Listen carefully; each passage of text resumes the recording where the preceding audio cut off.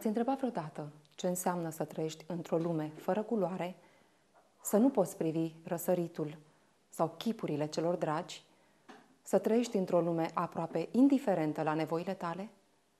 Sunt Maria Jinga și timp de o oră la România Creștină vom încerca să aflăm răspunsurile la aceste întrebări.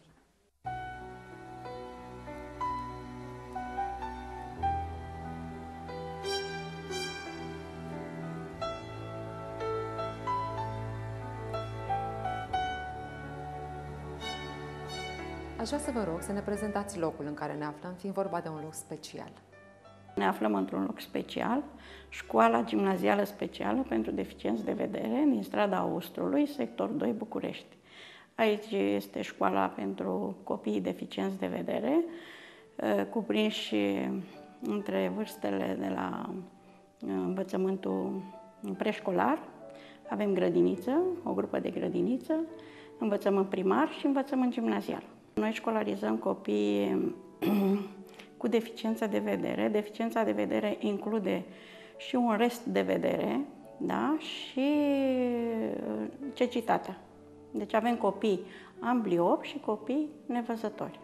Vreau să vă rog să ne spuneți câți copii aveți în școală în momentul de față și dacă este vorba și despre copii din alte localități. Avem uh, 150 de copii, copii veniți nu numai din București, dar și din alte județe. Cei care vin din alte județe, în timpul cursurilor, sunt uh, cazați la internat. Internatul nu aparține școlii, se află în administrarea Direcției pentru Protecția Copilului. Aici noi avem ceva uh, deficiențe în uh, primirea copiilor la internat, pentru că județele de unde provin copiii, legea prevede ca Uh, resursa financiară să urmeze copilul. Uh, și sunt discuții între consiliile locale județene și Direcția pentru Protecția Copilului sector 2. Uh, în fiecare an am avut asemenea probleme.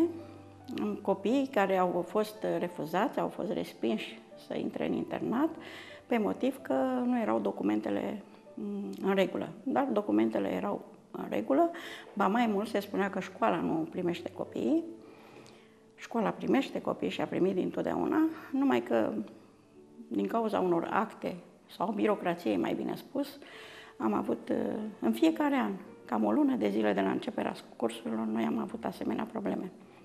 Am solicitat de multe ori revenirea internatelor și a cantinei școlii, sub, în administrarea școlii, Până în momentul actual nu n-am, reușit, dar facem în continuare demersuri.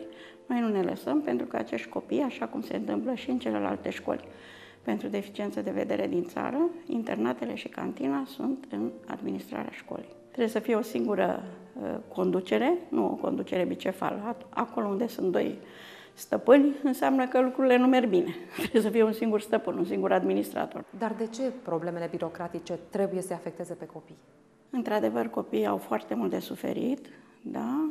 Ca fost director al școlii, vreau să vă spun că am făcut uh, demersuri la toate forurile, deci nu numai la nivel local, dar și la Ministerul Educației și la, la Parlament, dar nu s-a putut. Nu s-a putut uh, rezolva. Au spus că nu, administrarea uh, copiilor, internatului trebuie să aparțină Direcției pentru Protecția Copilului. În situația dată sunt foarte curioasă cum se face deplasarea copiilor către școală. Copiii din București sunt însoțiți la școală de către părinți sau cineva din partea școlii, din partea familiei. Uh, există, avem un uh, registru la poartă în care avem notat avem notată persoana care însoțește copilul, care îl aduce la școală și care îl preia după amiază pentru cei din, uh, din București. Iar pentru ceilalți, uh, pentru interni, elevii interni, paradoxul face ca uh, până acum vreo patru ani, ei să beneficieze de internatul Traian, din strada Traian. Ne-am trezit la începutul anului școlar, acum patru ani, vă spuneam, că elevii noștri, nevăzători, nu mai puteau beneficia de internatul Traian, au fost duși uh, la un internat care se află pe Bulevardul Dacia, vis-a-vis de Cantemir. Și a, a primit titulatura uh, elevilor noștri, deci centru de găzduire pentru elevii deficienți de vedere. Da. Mai departe, transportul lor se face cu un microbus, cu un autobuz. De multe ori autobuzul întârzie. Sunt probleme, probleme mari. În primul rând, fiind vorba de administrare aici, este vorba de bani. Înțelegeți? Că banii care să asigure hrana nu? și cazarea copiilor în internat. De această problemă se ocupă primăria sectorului 2. Da? Vă spuneam că am făcut demersuri anual. Am solicitat pentru binele acestor copii. Nu? Interesul major este al copilului vă rugăm să ne, fie să ne redați clădirea din Traian pentru internatul lor, fie să ne permite sau să hotărâți construirea unui internat și a unei cantine pe terenul școlii, ca să eliminăm odată toată această problemă. Deci toate demersurile noastre n-au avut, n-au avut rezultat. Dar, într-adevăr, Direcția pentru Protecția Copilului primește banii de la primăria sectorului 2. Deci e unde, undeva pe Vedeți cum ajung banii la copii. Acum, în ultimul timp, uh, uh, Consiliul de Administrație al școlii și conducerea școlii a continuat demersurile noastre și avem promisiuni de la primăria sectorului 2, în persoana domnului viceprimar, că ne poate, ne poate ajuta să rezolvăm problema. Care modalitate de rezolvare va fi aleasă, o să vedem. Fie revenirea internatului în administrarea școlii, internatul tarian, fie construirea unei clădiri care să aibă cantină și internat pentru chiar aici pe terenul școlii. Avem promisiuni. Vorbim de o școală și aș vrea să vă rog să ne povestiți despre activitățile ce se desfășoară aici. Elevii noștri uh, au un program uh, zilnic foarte, foarte încărcat, foarte deci complet și complex, să spunem așa. Dimineața se desfășoară uh, orele de curs, de la 8 până la 1, 2 în funcție de clasă. După, iar după amiază se desfășoară activitățile de terapie complexă și integrată și terapiile specifice. Terapiile specifice avem uh, uh, logopedie, Uh, la Brai, deci copii care uh, sunt în perioada copii de vârstă mai mică care învață Brai și orele acestea vin uh, suplimentar uh, să-i ajute. Avem uh, activități de corectare a deficien deficiențelor de vedere, uh, cabinete specializate pentru aceasta. Avem uh, un cabinet de kinetoterapie pentru corectarea deficiențelor uh, locomotorii. Uh, deci uh, avem o sală polisenzorială pentru copii cu multiple deficiențe, că avem și această categorie de copii. Deci acestea sunt activitățile specifice. Deci corectarea deficienței de vedere, brai, kinetoterapie, psihodiagnoză. Am observat că printre cadrele didactice sunt și persoane nevăzătoare. Profesorii din această școală sunt, uh, îmi place mie să spun, adevărați apostoli. Pentru că ei au o chemare pentru acești copii. Nu oricine poate să, să vină în școală și să rămână profesor în școală. Dacă nu ai iubire pentru copii și pentru înțelegere pentru deficiența lor, nu poți. Nu, nu reziști într-o școală ca, ca a noastră. Uh, Profesorii noștri au uh, nu o singură calificare, au, sunt policalificați. Ei știu să facă de toate. De toate știu să facă profesorii noștri. Avem profesori de română care fac brai. Avem profesori de altă disciplină care fac, uh, eu știu, lecții de matematică și specializarea lui este de biologie sau altă disciplină. Da. Deci, asemenea profesori sunt la noi în școală. Avem și persoane nevăzătoare. În ultimii 10 ani uh, am, uh, au venit la noi în școală persoane nevăzătoare Pot să numesc aici chiar, nu știu dacă mai este vicepreședintele Asociației Nevăzătorilor, este chiar titularul nostru, Mihai Dima, de la Asociația Nevăzătorilor din România, sediu central. Avem uh, și profesori preparatori nevăzători, avem și profesori la predare uh, nevăzători. Sunt, pentru că acesta este locul lor de muncă. Aici, unde în altă parte s-ar integra ei mai bine decât la noi în școală. Aici este. Cât de important este pentru copiii din această școală faptul că au ca profesor o persoană care are aceleași probleme ca și ei? Aș vrea să vă spun că nu numai pentru copii este important acest lucru, ci și pentru colegii noștri, pentru că ei sunt foarte empatici cu noi, dar pentru copii este mult mai important pentru că uh, se simt uh, deschiși, se simt, uh, simt că reușesc să intru în pielea lor așa, însă uh, și pentru mine este important că lucrez cu elevi la fel ca și mine, că pot să mă pun în situația lor și ei de multe ori îmi, îmi pun problema așa că Doamna, dar dumneavoastră cum făceați? Mă întreabă, dar cum era când erați așa sau... Și încă un alt aspect e foarte important și pentru părinți. Nu numai, că, nu numai faptul că eu am, am aceleași probleme ca și... Dar îi simt așa pe părinți destul de empatici cu noi, pentru că și dumnealor având copii cu aceleași probleme, de multe ori ne iau ca exemplu. Dar să știți, v-am mai spus, este foarte important și pentru colegii noștri. Colegii noștri se consultă cu noi și uh, e, e ceva constructiv, e ceva bun, util, eficient, ca să zic așa. Chiar dacă acești copii au probleme, îi putem considera diferiți de ceilalți? Ați atins un punct foarte sensibil, pentru că elevii noștri parcurg curiculum școlii de masă. Deci au o deschidere foarte mare. Bineînțeles că terapiile vin în plus, deci în afara orelor de curs, dar ei parcurg curiculul școlii de masă. După terminarea celor 8 clase, elevii noștri se pot integra într-un liceu de masă sau pot merge la liceu specific, liceu pentru deficienți de vedere de la Regina Elisabeta. Uh, acum există tendința, și nu numai tendința, sunt și fapte care se întâmplă astăzi, uh, există tendința aceasta de integrare a copiilor și bine, și cu deficienți de vedere, dar în general a copiilor din școlile speciale în învățământul de masă. Este o mare greșeală.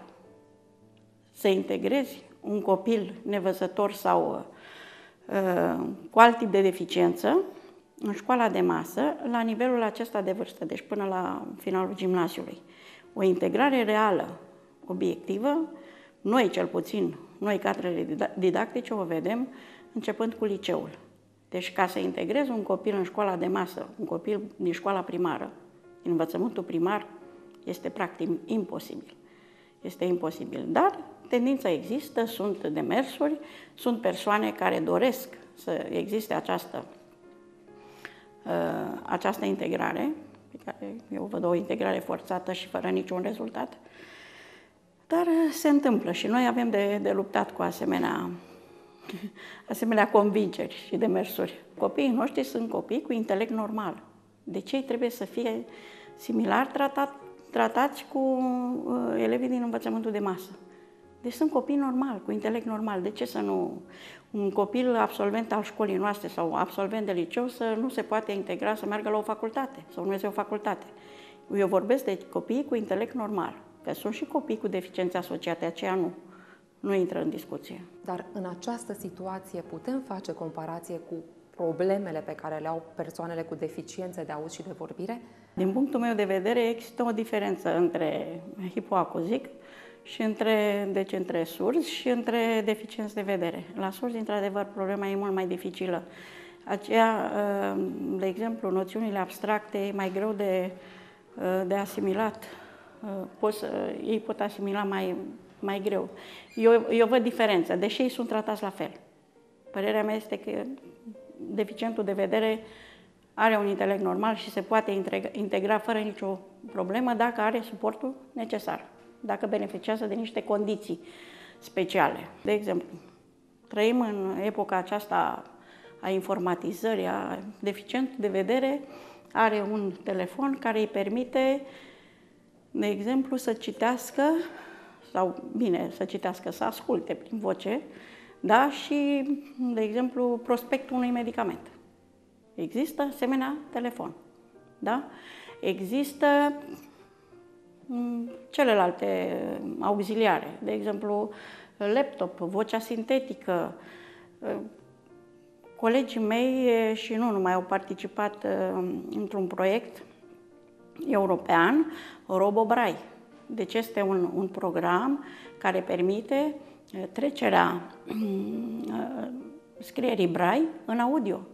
Deci sunt atâtea și atâtea mijloace care au apărut în ultimul timp, care în ultimii cinci ani, vă spun, a fost așa o avalanșă de, de mijloace din astea auxiliare care au apărut și care vin în sprijinul nevăzătorilor. Deci eu nu văd, nu văd cum un nevăzător uh, nu s-ar putea integra în, într-un uh, învățământ de masă.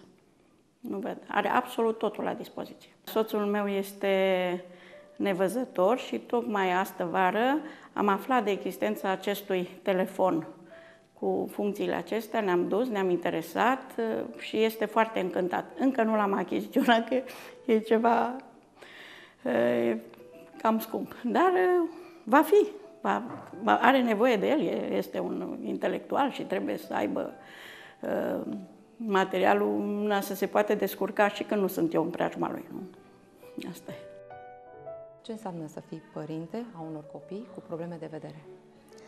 Da, într-adevăr, acest lucru uh, este destul de dificil, implică, ca să spun așa, și din partea părinților și din partea copiilor uh, uh, răbdare și trebuie să înțelegem că dacă Dumnezeu dă unor copii probleme, indiferent că sunt probleme de vedere sau probleme de alt gen mai grave, handicap de altă natură, toate acestea le dă poate spre încercarea noastră, poate Dumnezeu vrea să ne pună la încercare credința și vrea să vadă dacă primim din partea Lui și bune și rele cu inimă curată, cu suflet uh, bun și trebuie să nu deznădăjduim și să ne rugăm să ne lăsăm în voia lui Dumnezeu, că ceea ce ne-a dat Dumnezeu înseamnă că este, face parte din crucea care trebuie să o ducem noi. Mai grea sau mai puțin grea. Dumneavoastră când ați descoperit că fetele dumneavoastră au probleme de vedere? să spun așa, mai când erau mai micuțe, în primii ani. Bine, la început uh, am zis că o să, o să se corecteze, o să fie bine și, de fapt, am încrederea aceasta că va fi bine și am fost îndrumate, am fost îndrumați uh, să aducem fetele aici la această școală, că este o școală foarte bună și uh, cu oameni deosebiți, foarte bine pregătiți profesional uh, și care știu cum să se poarte cu acești copii și i-am adus aici cu toată încrederea și cu toată dragostea. Ca părinte, orice problemă ar avea copilul meu, mi-ar crea o suferință. Dumneavoastră cum ați simțit lucrul acesta? Că Exact, într-adevăr, este uh, o suferință, dar uh, v-am zis, eu, noi cel puțin suntem credincioși și am zis, dacă așa a vrut Dumnezeu să ne dea acești copilași, îi primim așa cum i-a dat.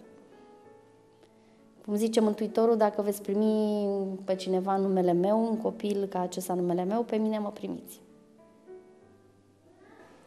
Copiii au acceptat, s-au adaptat? Da, sigur, sigur, sigur. Au, uh, fetele mele sunt destul de înțelegătoare așa, s-au adaptat, sunt sociabile, n-am avut probleme, ca să spun, de integrare cu ele sau de alt gen. Dar societatea acum îi primește? Da, într-adevăr, uh, nu toți înțeleg și uh, poate îi resping, poate se simt marginalizați de cei din jurul lor, dar asta e, trebuie să mergem înainte și... A spus că ați fost orientată către această școală da. specială pentru copii. V-a spus vreodată problema ca fetele dumneavoastră să urmeze o școală normală? Uh, deocamdată nu. Am zis că e mai bine pentru ele aici. De ce? Tocmai din acest motiv. M-am gândit că mm, într-o școală normală nu ar găsi poate înțelegere, nu, nici din partea, mm, să zic așa, oamenilor mari, nici din partea copiilor. Uh, și sunt sigură, de fapt, copiii mai sunt și răutăcioși între ei, nu toți sunt. Uh, și într-o școală de masă, ca să spun așa, cred că ar fi avut probleme, sigur, ar fi fost marginalizate și m-am gândit că... Pentru aprofundarea cunoștințelor, credeți că e mai bine ca ele să fie aici, în școala aceasta, sau nu, eu sunt, eu sunt sigură și sunt convinsă că ele pot învăța foarte bine și aici. Se poate, sunt profesori buni care vor ști să le predea și să... Deci vor învăța foarte bine la fel ca într-o școală de masă. Nu, nu înseamnă că... Deci aceste școli uh, ajutătoare, ca să spun așa, pentru acești copii, nu înseamnă că sunt mai prejos decât școlile normale. Poți să înveți foarte bine și să te dezvolți în viitor să ajungi la același nivel ca un copil care a învățat într-o școală normală. Pentru că faceți parte din această comunitate, vreau să-mi spuneți care sunt problemele cu care se confruntă o persoană nevăzătoare? În primul rând, nu sunt facilitate mijloacele de accesibilizare și când spun de mijloace de accesibilizare mă refer la uh, semafor, trecere de pieton, mijloace de sprijin care să vină în ajutorul nevăzătorului, de exemplu obiecte de uz casnic, care uh, ele există, dar sunt foarte scumpe, însă revin iar la problema cu semaforul. De ce spun că nu este accesibilizat? Pentru că, de exemplu, avem și aici un semafor, nu există o diferență între roșu și verde, adică ar trebui să existe niște diferențe, să fie făcute cum trebuie ca să te poți descurca, trecerile de pieton să fie accesibile, pentru că, la fel, eu trebuie să mă iau după mașini sau eventual după oameni, dacă e vreun om pe acolo, dacă ghicesc eu așa, îmi dau seama că există acolo o umbră, să mă pot ghida după ea. Uh, multe, uh, chiar și în școli, nu sunt facilitate mijloacele de sprijin în sensul că, la fel, sunt, fiind foarte scumpe, uh, nu ne permitem să le achiziționăm așa de ușor. Trebuie să apelăm la tot felul de venituri. Nu mai zic acasă, că acasă chiar nu ne permitem să cumpărăm nimic. Sunt foarte, foarte scumpe și ar trebui să existe niște, uh, știu eu, niște facilități în acest sens că suntem toți oameni, zic eu. Haideți să vorbim de felul în care este pregătită astăzi România, să nu vorbim de București, de zona locală, pentru a primi în sânul ei acești oameni cu nevoi speciale. Da, din păcate eu cred că țara noastră nu este chiar atât de pregătită și uh, chiar ne, este necesară uh, mai multă înțelegere din partea um, celor care conduc, ca să spun așa, țara noastră, că aceste școli sunt uh, foarte necesare. S-a pus la un moment dat problema, am auzit cel puțin, uh, s-a discutat pe aici în școală, că se punea problema să se desfințeze, nu știu cine din Parlament vrea să desfințeze școlile acestea pentru copii cu deficiențe și vrea să integreze, avea de gând să propună, să se voteze și să se integreze toți copiii, nu contează că au deficiențe de vedere sau altfel de deficiențe, în școli normale și să învețe toți la grămadă. După mine, asta e o idee foarte proastă, în niciun caz. Ar fi fost un dezastru pentru că acești copii au nevoie de mult mai multă înțelegere, în primul rând în școlile de masă, sunt sigură că profesorii n-au așa răbdare, nu sunt pregătiți să îi susțină, să... Să vorbim de nevoile acestor persoane cu dezabilități Da, de vedere. este- Cu ce probleme se confruntă ei? Aveți trei copii. Da, așa este. Păi au un nevoie, trebuie să mergi cu ei de mână, uh, nu pot fi lăsați singuri, deci trebuie în permanență cineva să stea să le acorde atenție. Dumneavoastră ce doriți pentru fetele dumneavoastră pe viitor? Uh, Doresc să învețe, să și să o ia fiecare pe drumul pe care îl va vrea, adică să facă ceea ce o să le placă. Deja vreau să vă spun, eu poate n-am spus, am trei fetițe, uh, cea mare face 9 ani în clasa a doua și am două gemene 7 ani jumate în clasa întâia. Uh, Mulțumesc la fel, dacă aveți. Și cea mare, vreau să vă spun, deja de la o vârstă mai mică, chiar de câțiva anișori, am observat acasă îi place, îi dau Uh, noi n-am să, să revin. Noi suntem credincioși așa, mergem și la biserică și le-am format de mici și în acest spirit și mm, avem în casă icoane și asta acum revin la ce spuneam. Uh, Îi dădeam o icoană și îi place să deseneze, să picteze cu, cu, cu, cu culori, cu tot ceea ce trebuie și vreau să vă spun că face foarte frumos, are, cred, talent, înclinație către pictura de icoane. Chiar mi-aș dori, cred că și ei ar place să mm, ajungă să facă așa ceva în viitor. Mă numesc Diana și am 11 ani. Eu văd um, doar um, umbrele, întunericul și lumina, dar culorile, în schimb, și scrisul sau desenele nu le văd. Pentru mine a vedea nu înseamnă cum văd eu, cum văd copiii sau așa când se uită cu ochii. Eu când zic că văd, adică pun mâna așa și mie îmi scapă să zic că văd, dacă încolo eu simt, nu văd. Am desenat uh, două icoane până acum, una cu Măicuța Domnului și Isus Hristos și una cu Sfântul Andrei. A fost uh, primul ucenic dintre cei 12 iar fratele lui a fost Petru, Sfântul Petru. El a creștinat uh, român.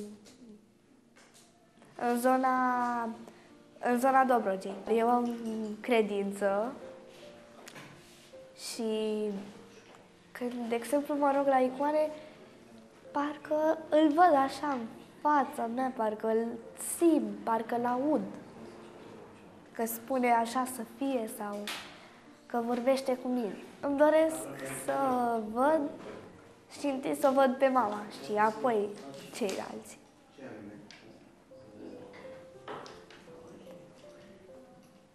Așa, asta îmi doresc și îmi doresc să nu mă, mă mai cert cu copiii. Și dacă e să mă cer, să mă împac înapoi. Sunteți profesor de istorie și cu toate acestea ne aflăm într-un atelier de pictură. Ai un atelier, zicem, de creație, pentru că uh, noi credem că prin arte, prin uh, activități uh, adiacente, putem ca să uh, întărim și să formăm competențele uh, întâlnite în activitățile de predare.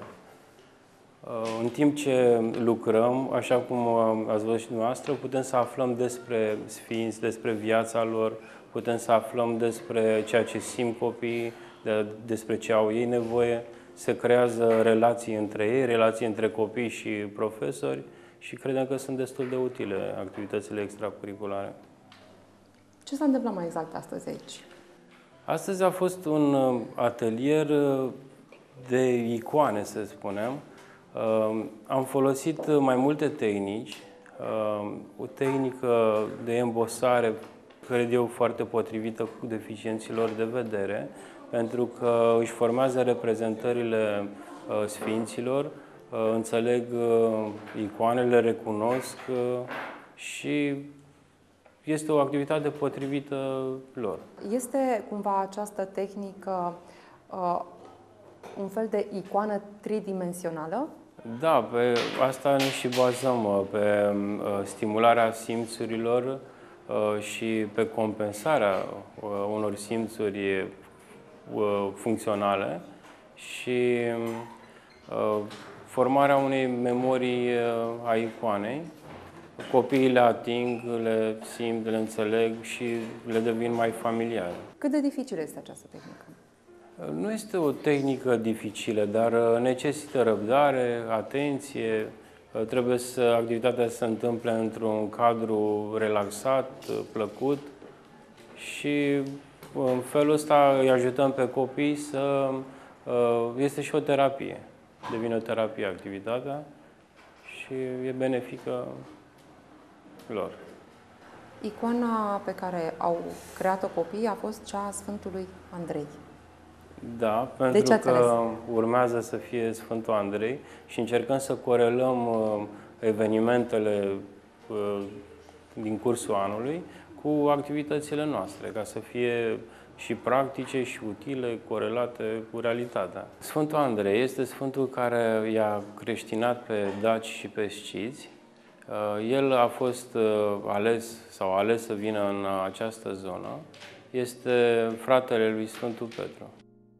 Astăzi am uh, pictat pe sticlă. Este ceva nou pentru mine, n-am pictat niciodată pe sticlă. Mi-a fost puțin cam greu pentru că mm, nu prea vedeam unele detalii, dar uh, până la urmă am reușit.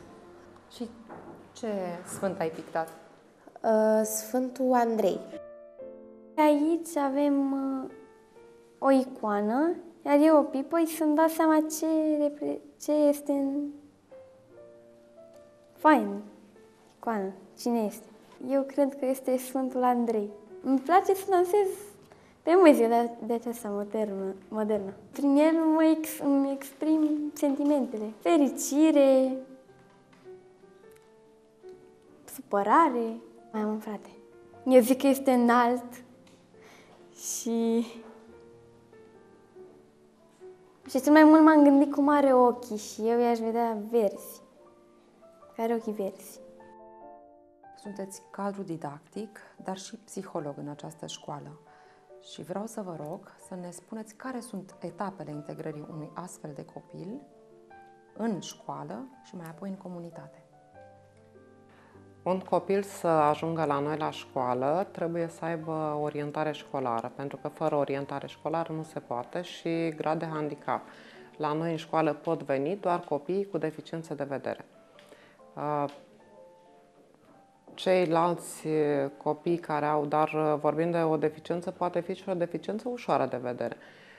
Ceea ce deocamdată, sau mă rog, nu se prea cunoaște, este că noi lucrăm după programul învățământului de masă. Deci programa noastră școlară este a învățământului de masă, cu un efectiv mai mic de copii la clase, ceea ce pe copii îi ajută foarte mult să înțeleagă mai bine materia, să putem uh, urmări programa școlară, să parcurgem uh, toate etapele necesare pentru o dezvoltare armonioasă a copilului. Ne interesează în primul rând copilul și toate activitățile pe care le desfășurăm le facem practic în beneficiul lor. Ceea ce vedem că interesează pe ei, îi întrebăm și atunci clar că mergem pe o dezvoltare, ne interesează o dezvoltare maximă a copilului, a potențialului copilului.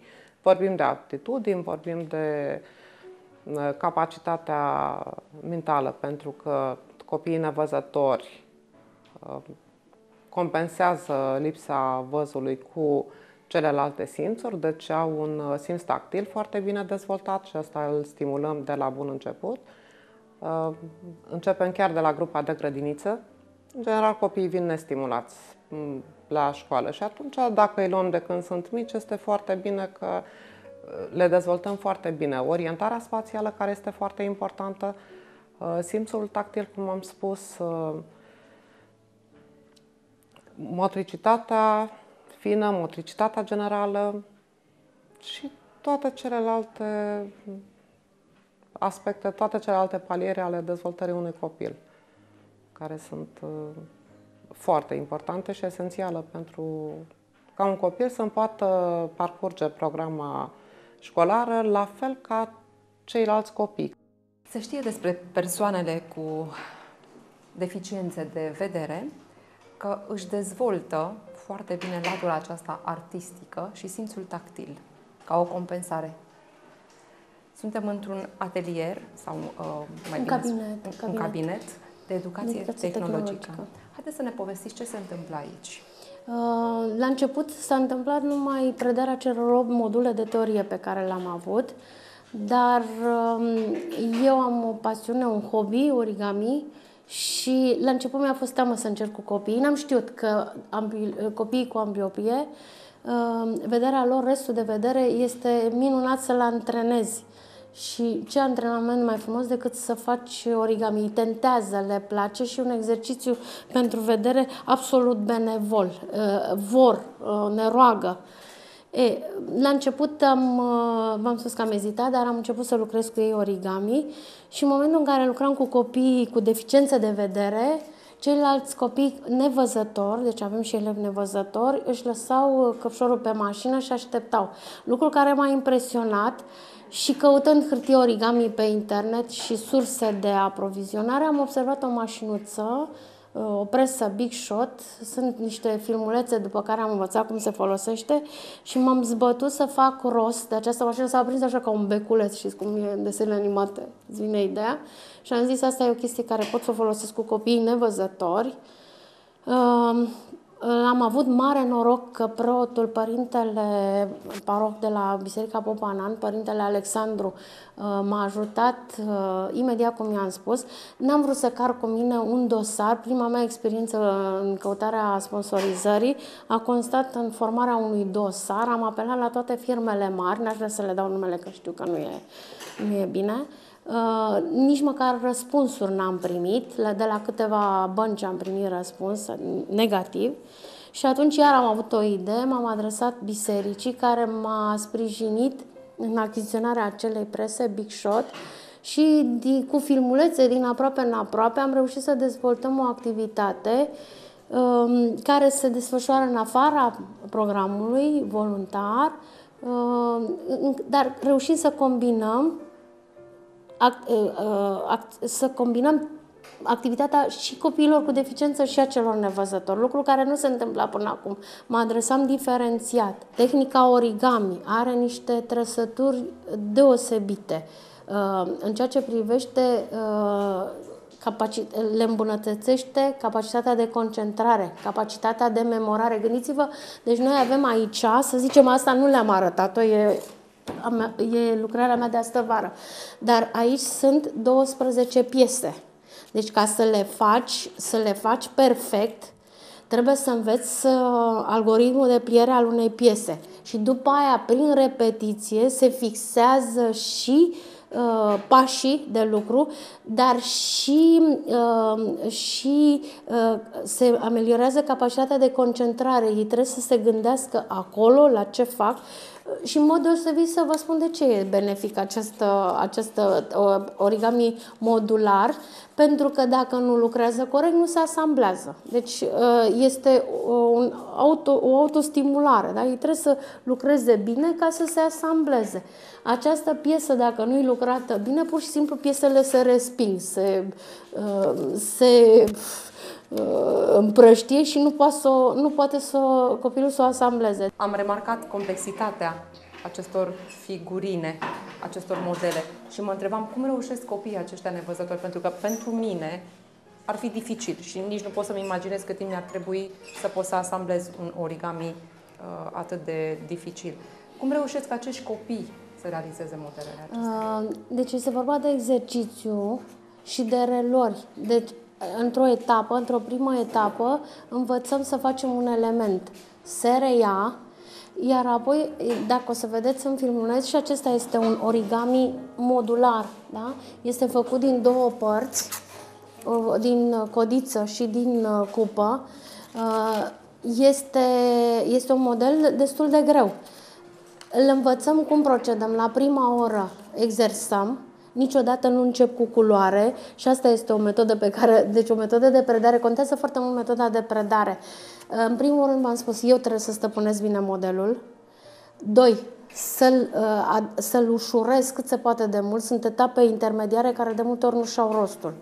Și după aceea, partea de montare, în primul rând trecem la culoare, asta le place foarte mult. Deci dacă le dau hârtie colorată, înseamnă că au învățat bine și nu dau la toată lumea dată, numai cei care au reușit. Și după aceea începem asamblarea. Foarte mult contează, de exemplu, am să vă... Ăsta este un cub, de fapt, da? Ăsta este un cub. Uh, ăsta este un cub foarte frumos și extrem de util pentru copii, pentru că înțeleg structura. Este un, ăsta este un cub, un cub uh, minunat, e ca un Lego, în care copilul învață și să știți foarte ușor îl fac când stăpânesc. Dar iar contează metoda pe care o găsesc eu ca profesor. Uitați-vă, de exemplu, vă dau, pare complicat, nu? Haideți să vă arăt uh, ca o metodă ce am găsit eu. O litera C, pusă la bază, după aceea punem două litere C vertical, da?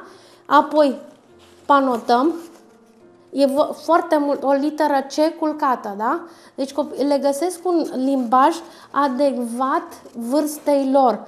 Și trebuie, trebuie să-și ia niște repere, litera C culcată, două C-uri ridicate, și să vedeți cât de greu pornesc la, la început și cât de frumos se adaptează după aceea. În cât timp pot realiza un asemenea model?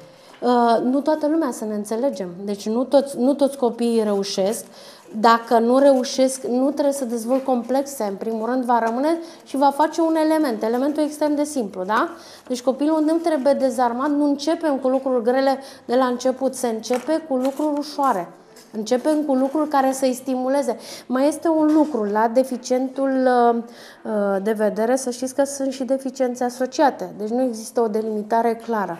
Uh, de aici, aici constă experiența cadrului didactic și uh, posibilitatea lui de a, de a grata, upgrada. Și le luăm, începem cu modele ușoare. Eu dacă încep să fac cu ei asta, mi-e foarte simplu să, simplu să fac panourile. Dar dacă în primele ore le dau să asambleze, la următoarele ore nu mai vin. Deci luăm gradual, începem cu modele simple, iar acesta, în timp, ia uitați-vă ce frumos, și pe urmă îi spui că pune, că pune ultimul C cu gura în jos, da? în jos. Dar ia uitați-vă ce frumos, ce exercițiu frumos, inclusiv la cabinete, ă, l-am recomandat colegilor și îl fac. Uitați-vă ce exercițiu frumos de simetrie, da? de, de dezvoltare a uh, perceperii celei de-a treia dimensiuni. Ia uitați-vă, plecăm de la un element plan, da? Și ajungem la un element tridimensional. Eu astăzi fac, uh, într-un fel, fac o icoană Uh, deci eu am apăsat uh, cu degetele pe această folie care este pusă pe icoană și astfel uh, icoana se va imprima pe această folie. Deci o faci prin icoane. presare. Da, prin presare. Am înțeles. Dacă ar fi să pictezi icoana, ce icoana ai acolo? Cu cine? Uh, această icoană este cu Fecioara Maria și cu pruncul. Și dacă ar fi să pictezi această icoană, ce culori ai folosi? Mm. Galben, alb și cam atât. Culorile se pot uh, simți, dar încă nu am ajuns la această capacitate. Adică? Uh, adică, dacă eu, să spunem, aș sta la... cum sunt acum la o distanță mică de colegul meu, aș putea să simt uh, ce culoare are Colegul haina tău, hăinuța. cu care este el îmbrăcat. Ce sunt pentru tine sfinții? Uh, Sfinții sunt pentru mine um, cei care de la care pot învăța cum să mă apropii și mai mult de Dumnezeu. Fecioara Maria, ce înseamnă pentru noi creștini ortodoxi? Uh, Fecioara Maria este mama lui Isus Hristos, uh, Maica noastră a tuturor. da, și Maica noastră a tuturor. Cât de importantă este ora de religie într-o școală pentru copii cu nevoi speciale? Um, Aș putea să spun că um, o pot asemăna cu um, umplerea unui pahar, unui am însetat. Uh, De ce însetat? Cred că de tot. Um, Setea aceasta, a- aș spune că o simt ființială în, um, în sufletul oricui, dar mai ales în sufletul lor. Pentru că, așa cum spunea uh, doamna Alina Andrei, colega noastră nevăzătoare, uh, ei um, de mici au um, probleme de contact. Imediat ce sunt văzuți, există reticențe sau există mai rău. Și atunci, uh, cei care suntem uh, îndrumătorii lor, trebuie să avem o atenție um, mai mult decât pentru sine. Și aș spune, în ceea ce mă privește personal, ca profesor de religie, e um, deosebit de periculos să lucrezi pe sufletul unui copil atât de sensibil, greșit, să faci greșeli. Um, și atunci răspunderea e foarte mare. Drept pentru care n-am predat imediat ce am terminat facultate. Mi-a fost frică. Mi-a fost frică nu neapărat că știam că o să merg într-o școală specială, pentru că am a doua specializare asistență socială și mi-am dorit de la început să fiu într-o școală specială. Însă am fost și în școli normale, puțin, însă nu se compară și cred că nu sunt făcută pentru acolo, că am constatat că nu, nu mă potrivesc. Și atunci aici, să zic așa, mi-am găsit locul, eu pentru ei și ei pentru mine. Am uh, elevi care au terminat uh, școala de mult și cu care vorbesc prietenește ca și cu copiii mei și vorbim uh, lucruri de viață mm, despre care constat că nu le discută cu părinții lor. Deci e, am, e o relație așa de fii și fiice, de fii și părinți, exact cum ne rugăm. Tatăl nostru, deci uh, nu ne batem. Cum simți tu fericirea? Uh, Atunci când mă rog, simt o fericire inexplicabilă și aș putea să spun, între ghilimele, că Dumnezeu este de vină pentru acest lucru. Simt o căldură, o liniște interioară. Dar ce este iubirea? Ce înseamnă pentru tine iubirea?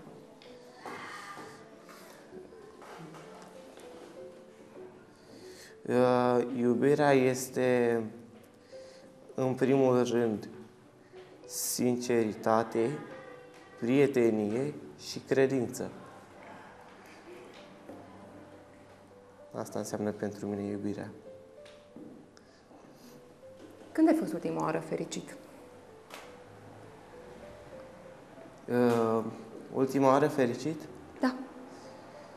Când am fost la moaștele Sfântului Dimitrie. De ce? Explică-mi, povestește ce s-a întâmplat. Um, deci a f- mi-am dorit foarte mult să ajung acolo și când am ajuns am uh,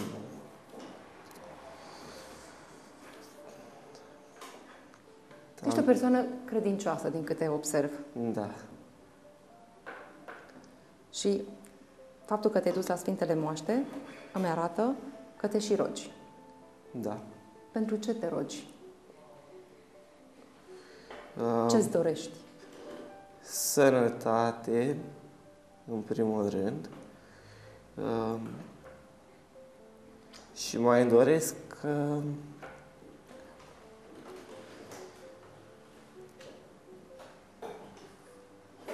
pace sufletească. Dar cât de important este ca profesorul de religie să îi ajute pe acești copii să-L perceapă pe Dumnezeu în condițiile în care noi, ca văzători, ne folosim de icoane pentru a putea conștientiza. Um, atingerea. Atingerea um, fizică, dar um, mai, mai mult decât atât atingerea um, sufletească. De la început, de la primele clase, uh, deși n-am în program așa ceva, conștientizăm care sunt simțurile noastre prin care percepem lumea înconjurătoare. Și astfel, când se schimbă anotimpul, mergem afară și vedem cum e zăpada, ce se întâmplă cu ea în palma noastră caldă, cum e floarea, cum miroase ea, cât de uh, perfectă e o frunză, um, cum înfloresc pomii, cum e bobocelul, apoi asemănăm cu ei. Tu ești un boboc și vei înflori cum înflorește floarea, pe care o vedem peste două, trei săptămâni. Și atunci um, lucrul acesta ne ajută să ne apropiem de ei. Sunt mulți uh, um, elevi, am constatat că nu știu, uh, n-au văzut niciodată ceva. Eu știu, n-au fost uh, um, pe malul unui lac n-au uh, pus mâna pe o anumită floare și nu cunosc. Au auzit de ghiocei, dar n-au ținut în ghiocele în mână. Și atunci au auzit de crin, dar nu, uh, probabil i-au simțit, să zicem, uh, mirosul, dar n-au pus mâna să vadă cât e el de frumos și așa mai departe. Sau pe un animal.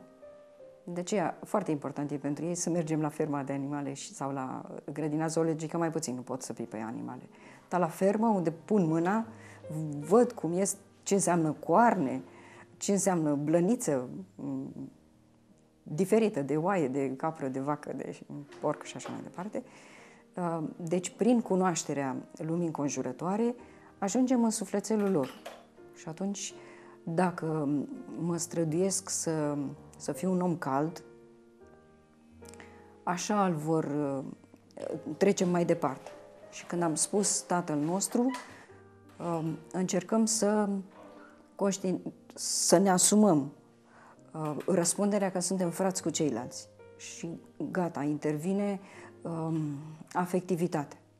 Nu pot să îl înjur sau să-l lovesc pe celălalt, că e fratele meu. Și mă vede Dumnezeu. Și ca un tată bun, o să mă certe, că mi-am bătut fratele și așa mai departe. Deci, cam așa văd eu.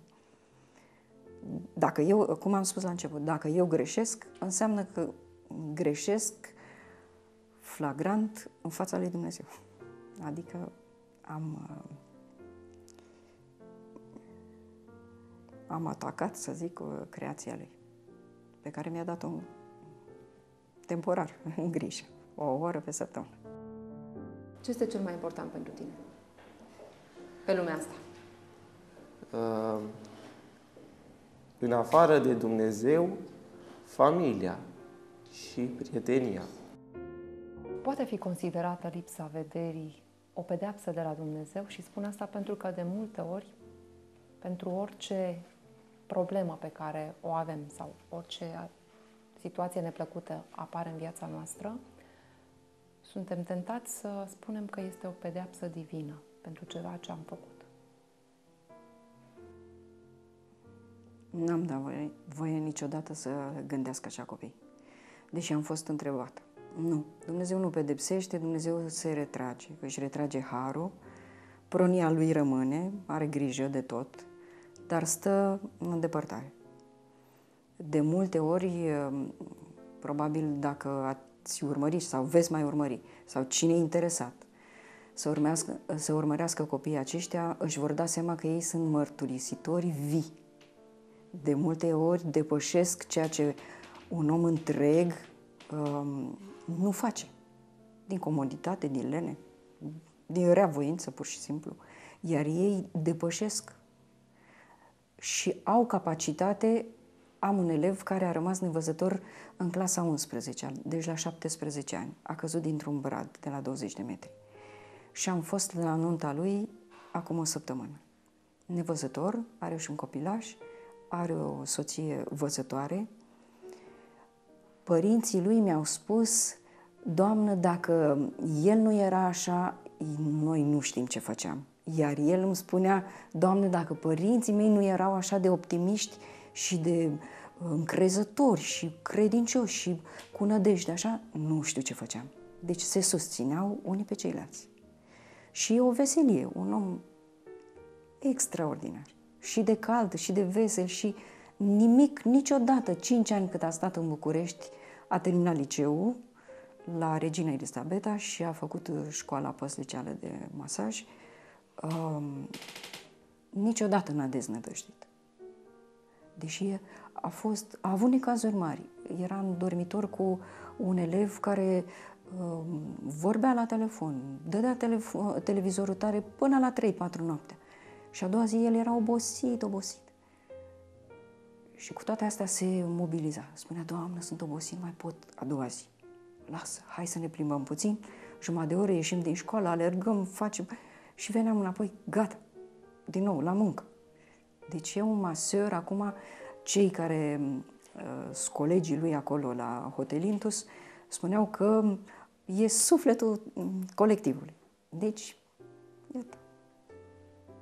Iar el recunoaște. Doamnă, dacă nu pățeam lucrul acesta, probabil că ajungeam într-un hău rău, pentru că așa de rău era. Adică o luase pe o cale greșită.